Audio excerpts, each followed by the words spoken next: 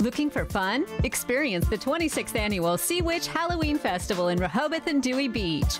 Don't miss the food, fun games and prizes, magic, rides, and great music.